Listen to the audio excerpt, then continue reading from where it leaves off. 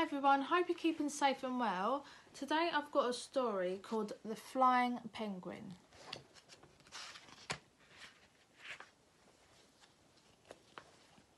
Mummy and Daddy Penguin looked lovingly at their new egg. They couldn't wait for it to hatch, but the egg did nothing. Then one icy morning the egg began to wriggle, squiggle, and it started to crack. Soon little Penguin came out. Cheep! cheeped little Penguin.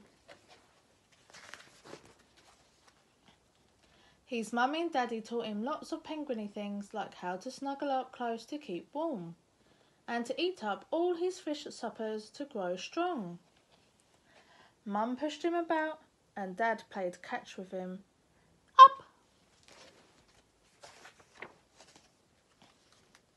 As he grew, he and his chums enjoyed ice serving on their tummies for fun.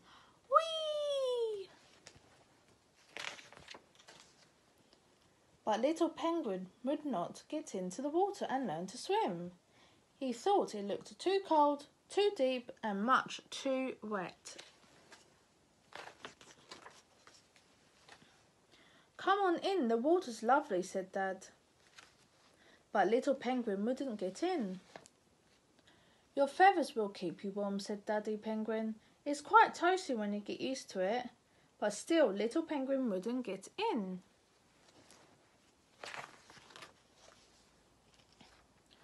All penguins need to learn to swim, said the other penguins, but little penguin wouldn't get in. He played in the snow quite happily until one day when Little Seal asked him, What kind of animals are penguins? We're birds, replied Little Penguin, but Little Seal burst out laughing. You can't be a bird, he said. You can't fly.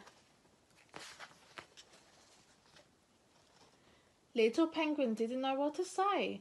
Now that's a bird, said Little Seal, looking up at a passing albatross. The albatross flew gracefully overhead and soared over the cliff tops with his great wings outstretched. Little Penguin had never seen anything so wonderful. If only he could do that.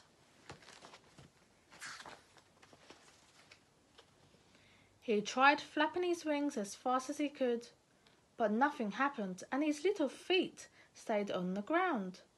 Maybe you need to run really fast at the same time, suggested Little Seal.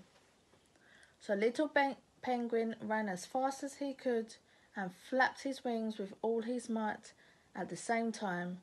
But nothing happened, and his little feet still stayed firmly on the ground. Maybe you need to jump off something high just before you start flapping, suggested little Orca. So little penguin hopped up to a snowy ledge and flapped his wings as he jumped off.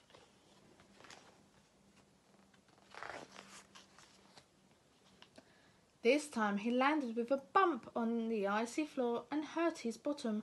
Ouch! Little Penguin's bottom hurt so much that he dived right into the cool water to soothe it better. Ooh.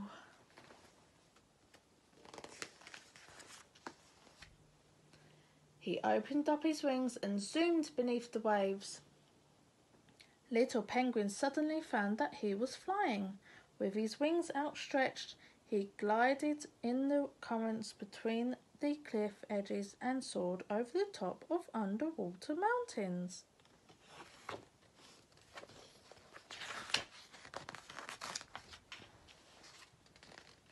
His dream had come true. I hope you enjoyed that story and we'll hope to see you soon.